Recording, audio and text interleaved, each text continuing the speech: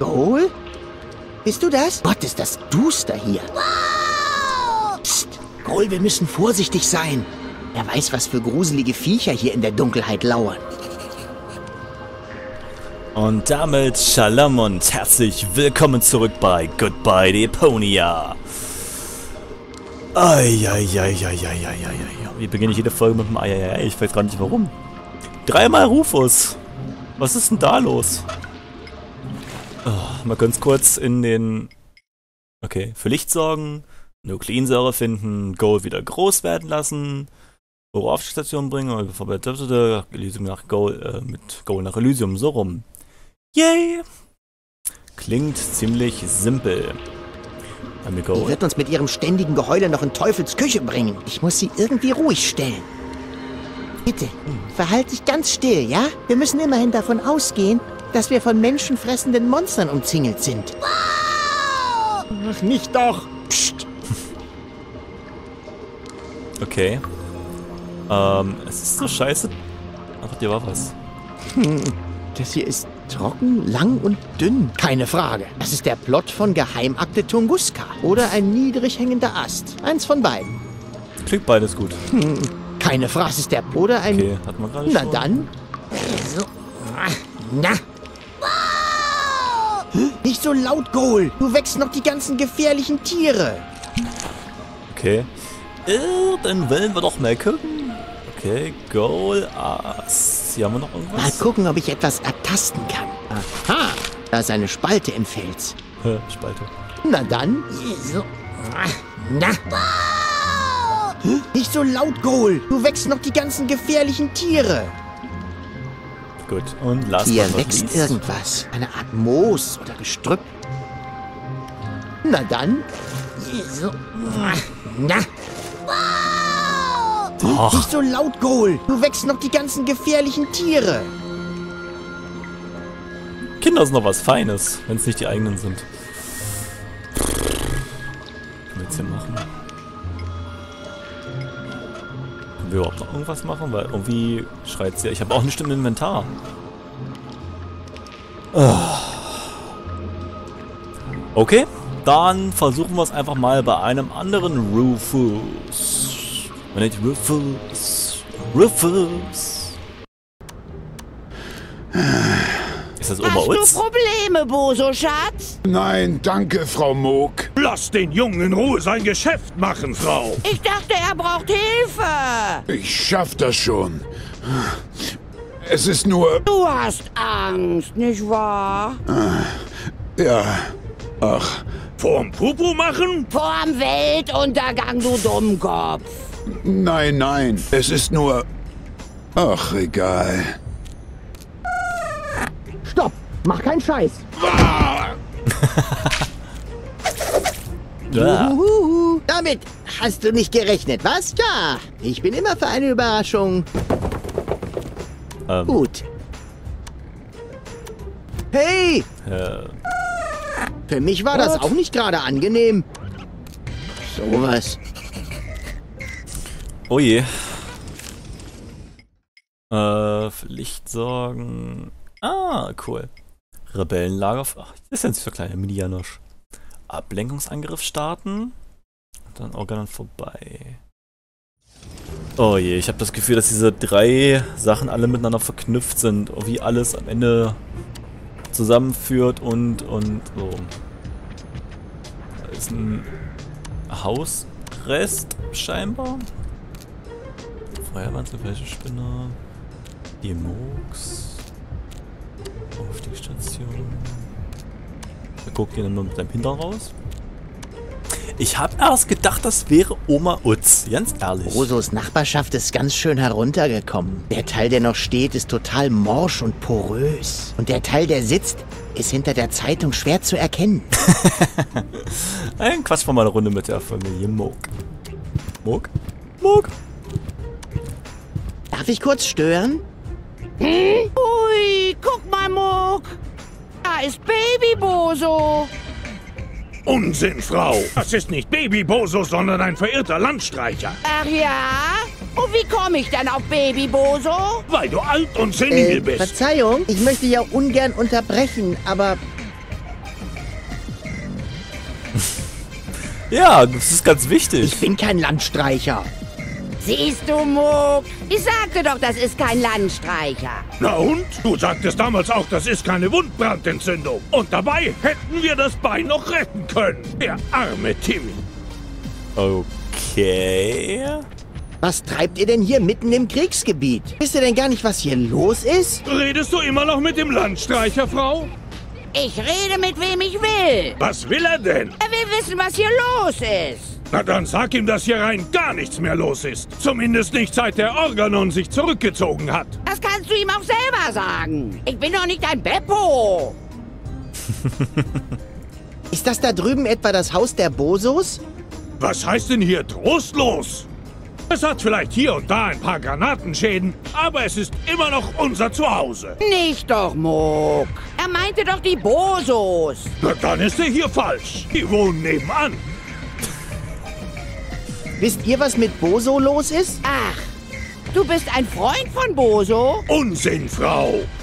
Boso freundet sich doch nicht mit irgendwelchen Landstreichern an. Im Gegensatz zu dir hat er nämlich noch einen restlichen Funken Grips. Auch wenn er sich momentan nicht so benimmt. Er ist deprimiert, Muck. Natürlich ist er das. Er hat keinen Job, keine Freundin, die Welt geht unter.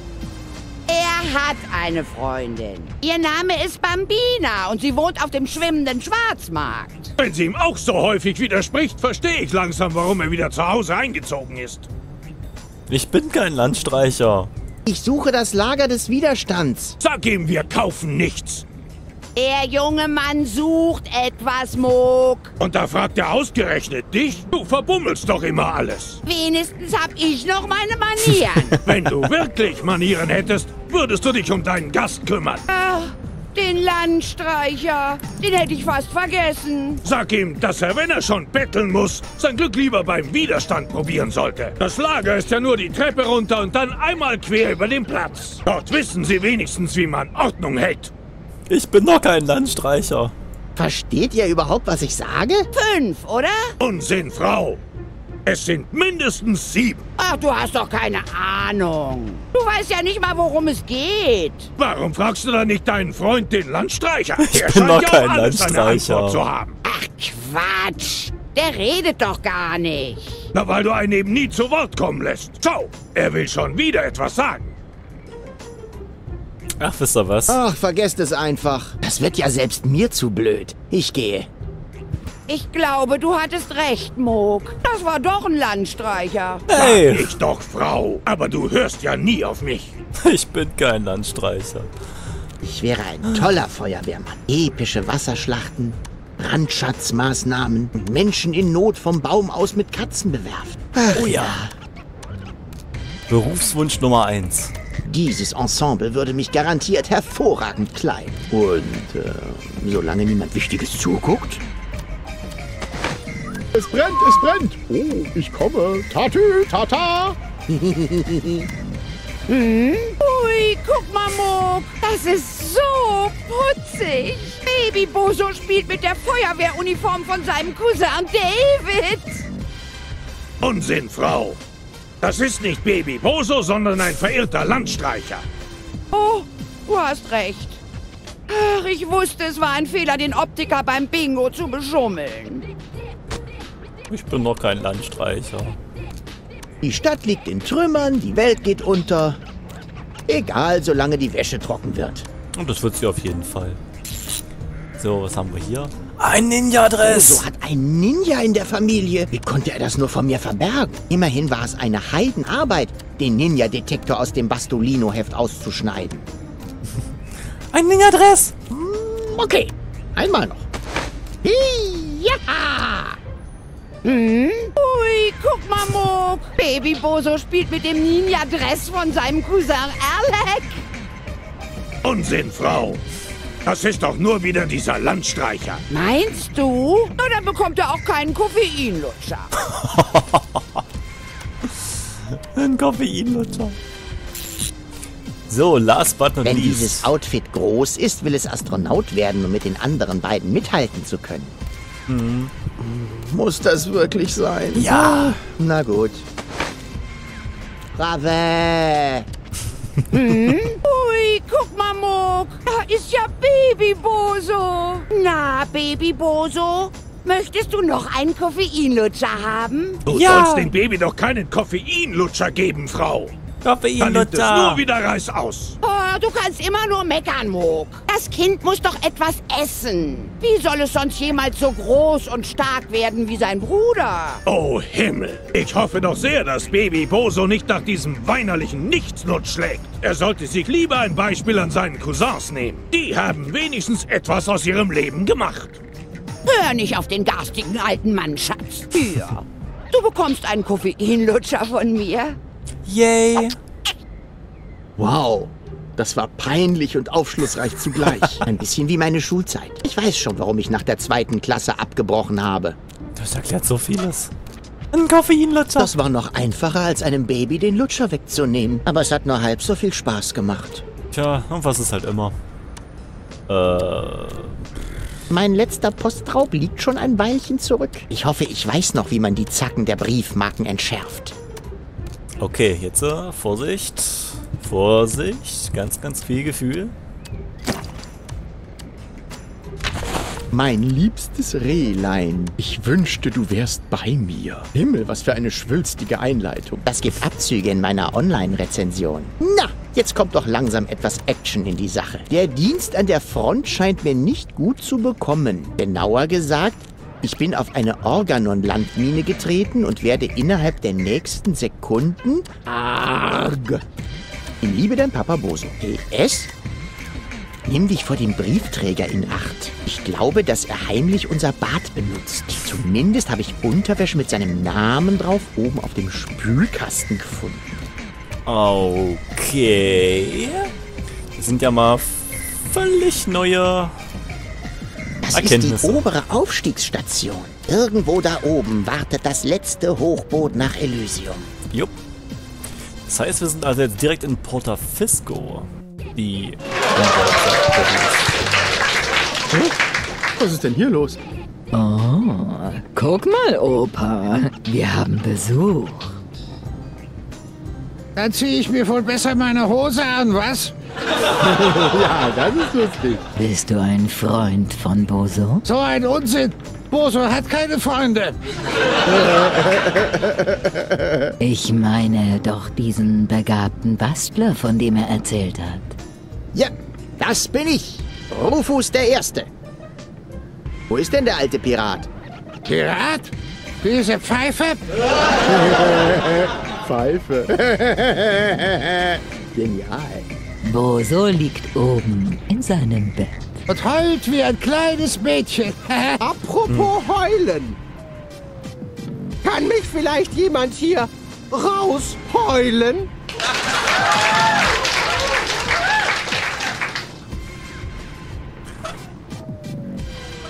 Oh Gott, wo, sind wir? Wo sind wir hier? Fest. Bestimmt liegt das an den vielen Steckbriefen in seiner Tasche. Hm, War wahrscheinlich zu intellektuell. Ich stecke fest. Ist das nicht ulkig?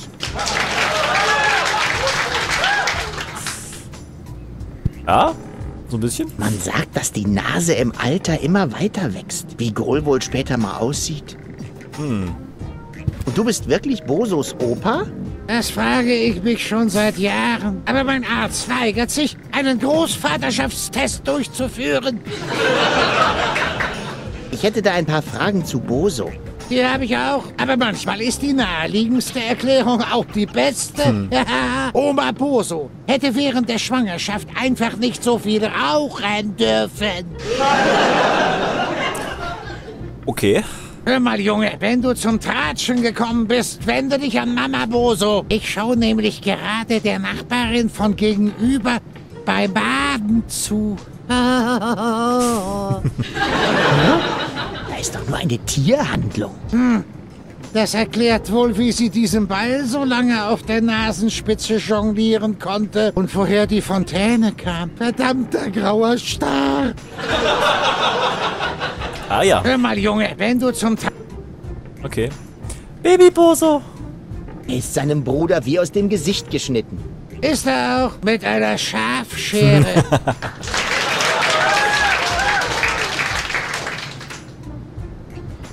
Okay. Dann Reden wir doch mal Baby, Bowser. Adu-gu-gu-gu.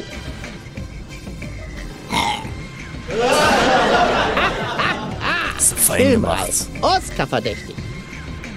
Haben wir Babyphone. Wozu braucht Baby Boso ein Funkgerät? Der kann ja nicht mal sprechen. Gegenfrage. Wozu brauchst du ein Gehirn? Hab ich nicht verstanden. Na, es ist nicht gar nicht schlimm. Oh, guck mal, wie kommt denn dieses Babyphone in mein Inventar? Ist ja interessant. Mama Boso. Das ist also Bosos Mama. Er hat ihre Augen geerbt und ihre Oberweite. Wie jetzt? Das war auch witzig? Das ist aber ein sehr aufgeschlossenes Publikum. Reden wir mal mit ihr. Und du bist dann wohl Bosos Mutter, richtig? Äh, rate nochmal. Die Tante? Die böse Stiefmutter. Eine Einbrecherin. Die Bewährungshelferin? Nein. Die Oma, die Vorkosterin. Die Schwester? Eine Mischung aus alledem. Warte, äh, was war das vorletzte? Die Schwester. Rufus, du Charmeur. Hä? Wieso? Ich bin natürlich die Mutter. Was? Aber Aber du kannst mich gerne Mama nennen. Wie in Komm zu Mama.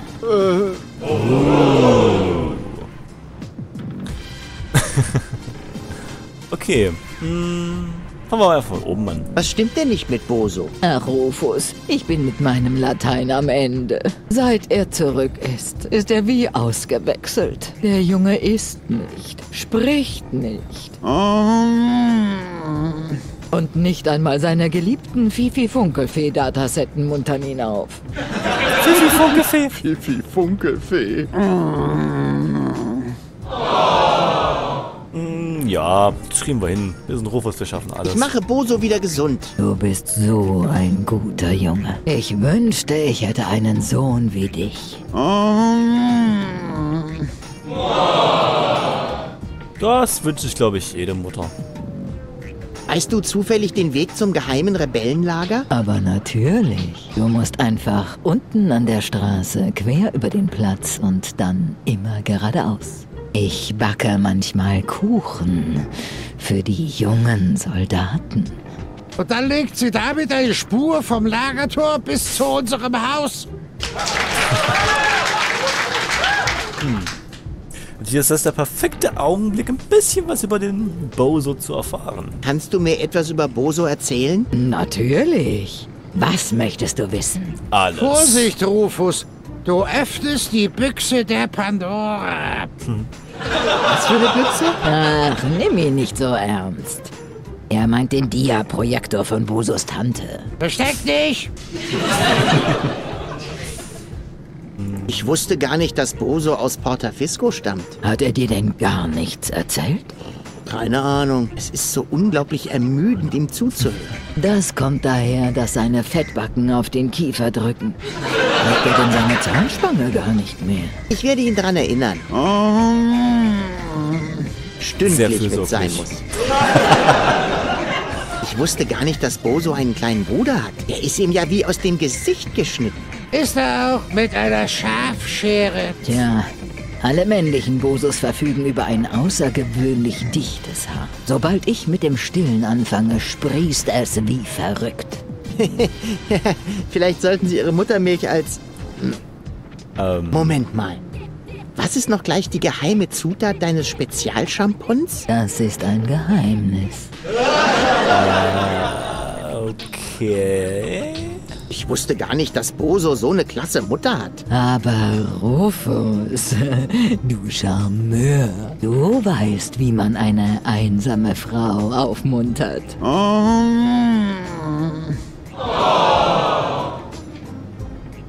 Okay.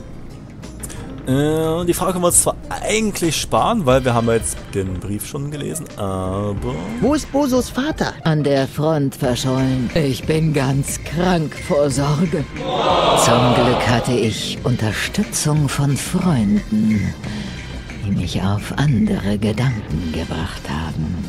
Welche Freunde meinst du genau? Den Milchmann, den Klempner oder den Postboten? Tja, wie heißt es so schön? Gute Freunde lässt man nicht hängen. Wusstest du, dass Boso eine Freundin hat? Wirklich? Ja, ihr Name ist Bambina. Sie hat einen Waffenladen auf dem schwimmenden Schwarzmarkt. Hörst du, Opa? Boso hat eine kleine Freundin. Die Knalltüte? Das glaube ich erst, wenn ich es sehe. Tja, es ist wirklich kaum vorstellbar. Er war immer so schüchtern. Als ich ihm damals von den Bienen und den Blumen erzählt habe, ist er wochenlang nicht ohne Imkerhut aus dem Haus gegangen. Ja, natürlich die wichtigste Frage Wie überhaupt. war Boso als Kind? Da gibt's doch bestimmt irgendwelche peinlichen Geschichten. Eigentlich Immer. nicht. Er war ein außerordentlich braves Kind. Er hat nie etwas kaputt gemacht. Seine Fifi-Funkelfee-Puppen selbst weggeräumt. Und selbst beim Ritterspielen wollte er immer die Prinzessin sein. Lass uns lieber über was anderes reden. Gerne. Immerhin habe ich ja nicht jeden Tag so einen fashion jungen Mann zu Besuch. Zumindest nicht seit der Briefträger das Fenster verstopft. Ich mag den Opa.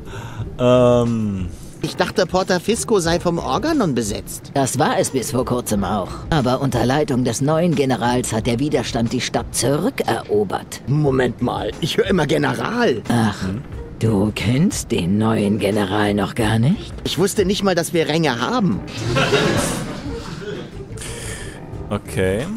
Darf ich zum Essen bleiben? Aber natürlich, Rufus. Freunde von Boso sind hier immer willkommen. Besonders, äh, wenn sie so knackig sind. Nur damit wir uns richtig verstehen. Ich esse mit und komme nicht als Fleischbeilage in den Salat, richtig? Quasi. Wann gibt's denn Essen? Da musst du Opa fragen. Er hat versprochen zu kochen, wenn Boso mal Freunde ins Haus bringt. Du hast mir nicht zugehört. Ich habe gesagt, dass ich kochen werde, sobald Boso eine Freundin ins Haus bringt, weil das nie passieren wird. Ha! Wir reden später weiter. Fühl dich wie zu Hause. Ich suche derweil schon mal Fotos von Bosos Ballettunterricht raus. Oh ja. Oh ja. So, da wollen wir mal gucken, was der alte Jammerpirat da oben... Da bist du ja. Komm, genug an der Matratze gehorcht. Raus aus den Federn. Sag mal, was ist denn mit dir los? Hau ab. Aber wir müssen doch ins Rebellenlager. Du musst mir helfen, die Welt zu retten. Oh, so. Oh, Backe. Oh je, das kann ja noch was werden.